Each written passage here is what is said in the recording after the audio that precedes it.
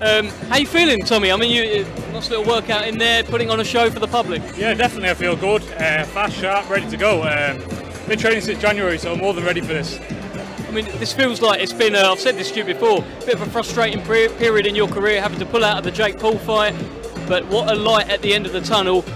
Wembley Stadium, 94,000 people, Tyson's undercard. Doesn't get better than that, does it? No, definitely not. I mean, um, this is the biggest stage you could ever be on. It's the biggest stage you could ever dream to be on. Um, you know, last last year was a lot of setbacks, but I've left that in 2021, and 2022 is my year, and we're kicking it off with a bang. You've been around him every day, John. Uh, how's, how's he looking? He's sick of looking at me, I know that. Listen, I'm not just saying it. This kid works his butt off to achieve where he's got today. He don't need boxing, this lad. He's got other avenues to go down. But he loves this job wholeheartedly. And he said, Dad, my life won't be complete till I win what I want to do, and that's titles. This kid can go all the way. And I believe in him. He's sharp, he's strong. You know, I honestly see shades of Golovkin in there as a younger man. You know, and let me tell you, it's all experience at this level. He stepped up to the plate. He's got a 10 and 1 opponent. He's a good kid. You'll see a different Tommy this time, but believe me, you watch.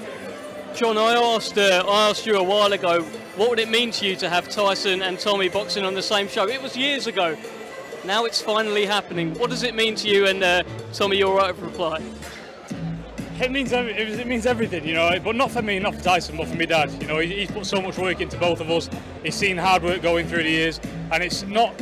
We're not feeling this. This is all for me dad. Because at the end of the day, it's never going to happen again. And uh, I just wanted to enjoy it as much as he did in his head. But now it's finally here.